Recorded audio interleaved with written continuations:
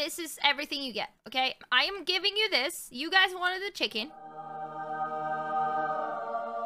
That is everything, okay? You guys cannot be mad or mad at me. And then I'll just do like a road like over here. I, I don't know what you're supposed to do with it. Uh, you guys find it out. I'm just trying to make you guys happy, okay? And if that requires a giant cock, I'll... I'll try my best. Yeah, I don't know. I,